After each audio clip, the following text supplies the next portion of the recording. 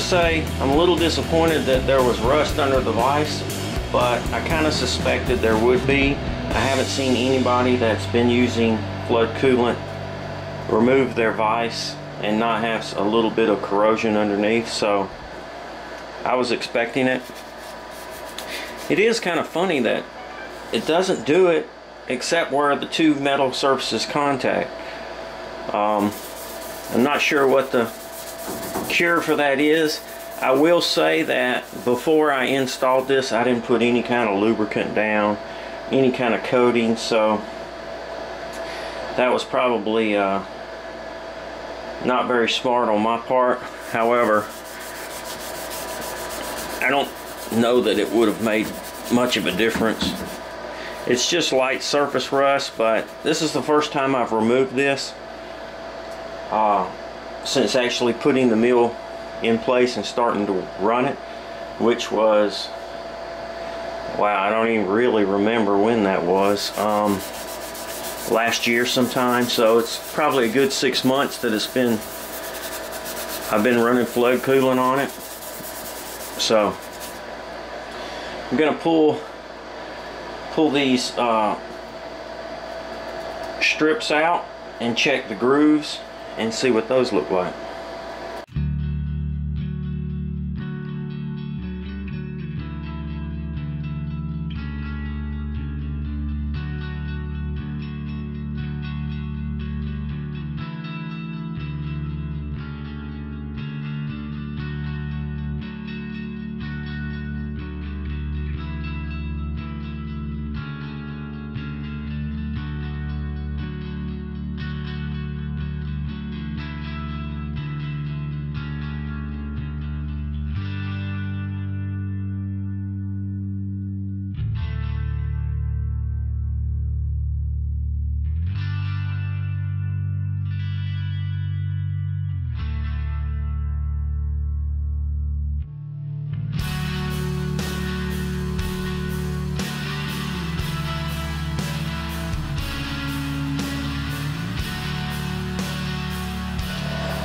Well, it's kind of funny. The only corrosion was actually where the two metal surfaces met. Um, none of my grooves. My hands are filthy here. Let's see. My pockets, nothing's wrong with them. No rust. No rust in my groove. No rust in this pocket. This is actually some kind of primer. It was there when I got the machine just a spot of primer. No rust whatsoever.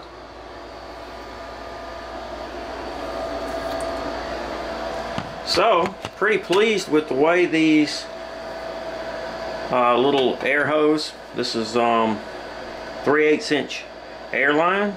This is probably 40 year old airline that I got from my father-in-law.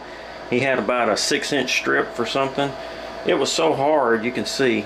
I mean it just I had to like squeeze it with pliers and hammer it to get it to go in there.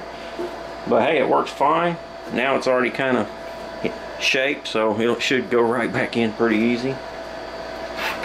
I'm gonna get these uh, bolts out of here and get everything cleaned up. I'm gonna be doing some machining on uh, Chad's oil slots for his saddles so I needed to remove the vise and I thought it would be a good opportunity to just kind of see and let you guys see um, what you can expect, I guess, from six or eight months of machining uh, using Kool Mist. This is a Kool Mist 77.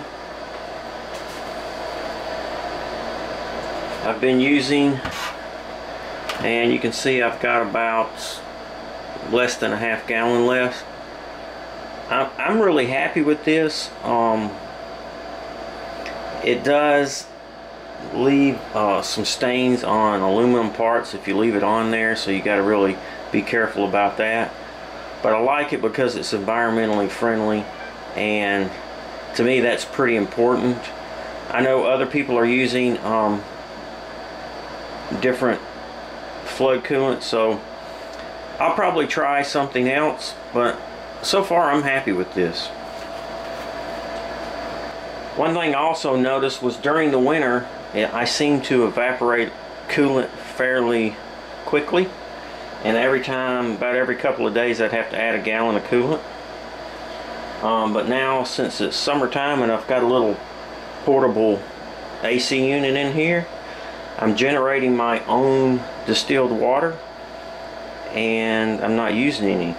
So it's not evaporating, I guess because the room's temperature controlled, there's not as much evaporation going on.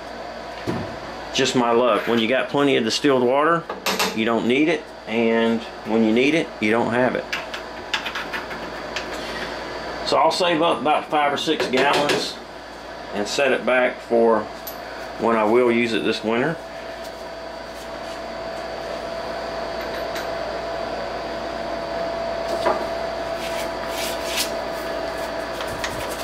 So I'm gonna get all these chips cleaned out. But I just thought I'd take a minute and shoot a quick video and just let you see what's happening up under the, the vise. Uh, it came up pretty easy with a little WD-40 and a Scotch-Brite. Gonna have to see if I can't find some kind of coating to put under here to help prevent that. Thanks for watching videos. If you have any questions, suggestions, please feel free to comment. Stop by and visit the website. Please subscribe to the YouTube channel. Thumbs up if you like the video, and most importantly, be safe.